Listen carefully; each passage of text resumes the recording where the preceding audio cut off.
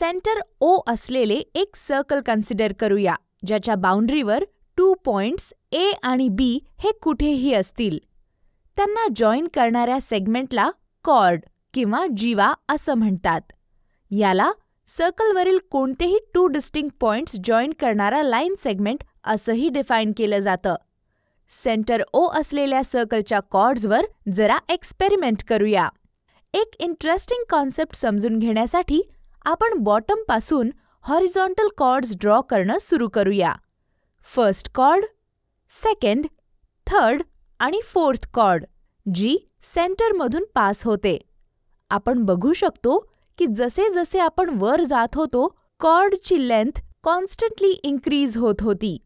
नंतर पुढे गेल्यावर कॉर्ड्सची लेंथ डिक्रीज होऊ लागली.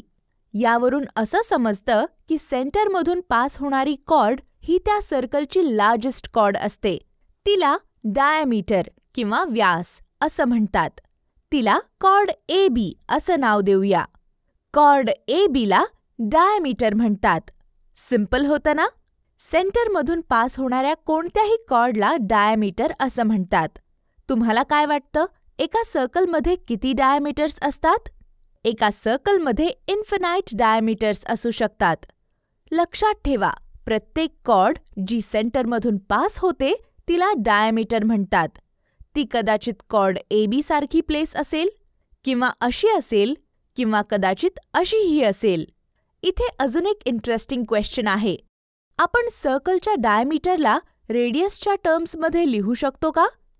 समजा हा रेडियस आर युनिट्स आहे. आपल्याला माहिती आहे की ओ ए आणि ओ बी हे सर्कलचे रेडियाय आहेत. O A equal to R units असणार आणि ओ बी देखील इक्वल टू आर युनिट्स असणार. जसे की डायमीटर ए बी ही एक लाईन सेगमेंट आहे आणि पॉइंट ओ तिच्यावर आहे तर आपण तिला ओ ए प्लस ओ बी असं लिहू शकतो. आपण या लेंथला या दोन लेंथच्या समसारखं लिहिलं जे equal to R plus R आहे. त्यामुळे आपल्याला टू आर मिळाले. विसरू नका.